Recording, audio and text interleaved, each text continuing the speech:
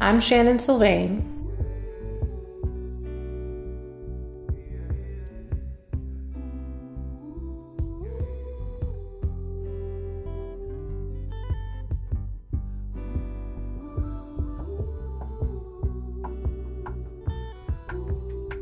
And on March 30th, 2016, I was diagnosed with stage 4 colon cancer.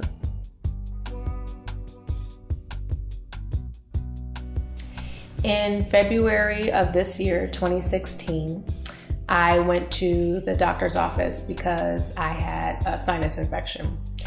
And I went to see my doctor because I wanted to get some medicine, clear it up real fast. I wanted to be in and out. So I went to my doctor and we got into our normal conversation. And as I was getting ready to leave the doctor's office, she asked me if there was anything else that was going on. Did I need a B12 shot? And I told her that everything was fine. However, every now and again, I would see blood in my stool. So when I told her that, she looked at me and this expression of alarmed face uh, because I had never told her that before. And she said, You know, how long has this been going on? What do you mean you see blood in your stool? And I said, Well, I saw a doctor several years ago, and she told me that when you have blood in your stool, it was directly related to, usually, it was directly related to having a poor diet. To which my current doctor said that is not the case, and I needed to uh, be treated for that. I got in to see this uh, specialist, this GI doctor that she wanted me to specifically see. And I remember walking into the office and thinking this is a whole lot, like for something that I think it's just related to diet. Now it's becoming a thing. Um, I went in to see this new person whom I'd never met before. Uh, she did this quick check to see if I had hemorrhoids and told me immediately that I did not have hemorrhoids. The best way to find out exactly what was going on with me internally was to do a colonoscopy. The next day, I remember being home with my husband. We were there all day and waiting to see if we were going to get a call. And something inside just told me that I should answer the phone. So I did. And it was my doctor. And she asked me where I was. And I told her I was at home. And she said, Good, I'm glad you're not driving.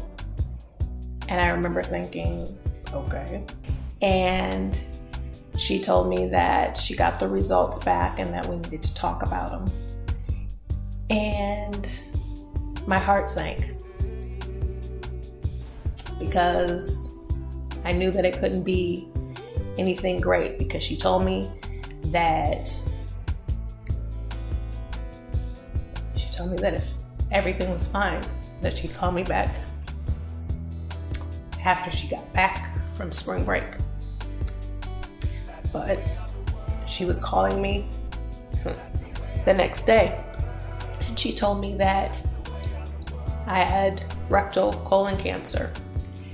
Um, I hung up the phone with her and I waited a little bit before I ended up telling my husband.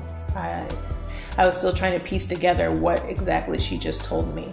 On April 20th, 2016, I had my first surgery for rectal colon cancer.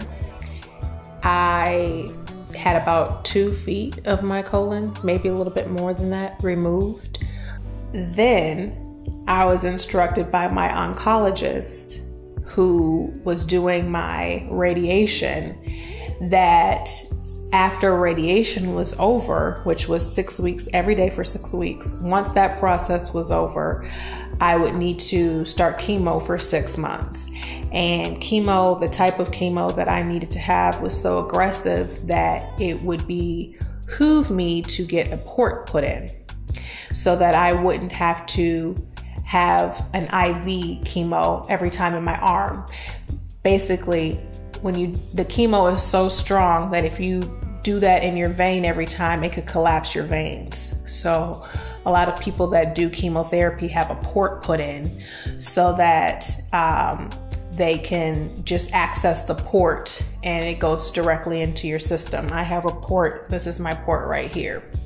It was a lot. Essentially, they had to cut here and um, place the port in, slide it down, and, and it lands right here. And so every time I do chemo or have blood drawn or basically anything with a syringe, they can do it. They can access it through through this so that I don't have to be pricked.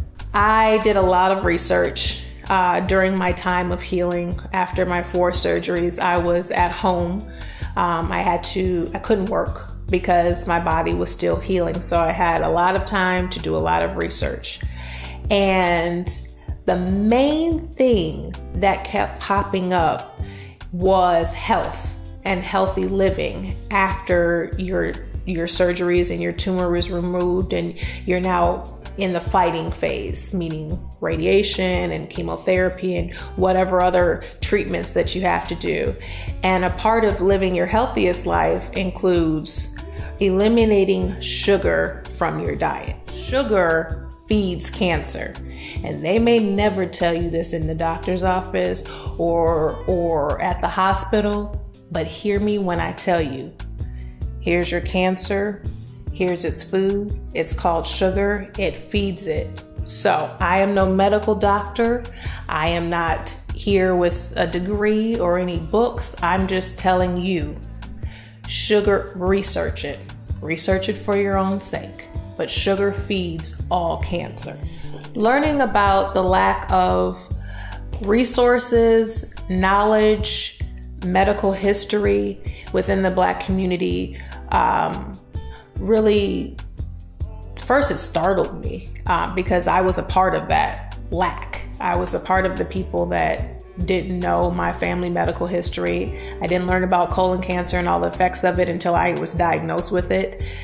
All of that sparked this drive inside me to create a foundation that could help equip the black community and people of color and empower them with all the information that they needed to fight colon cancer so that they didn't have to die from it because it is preventable.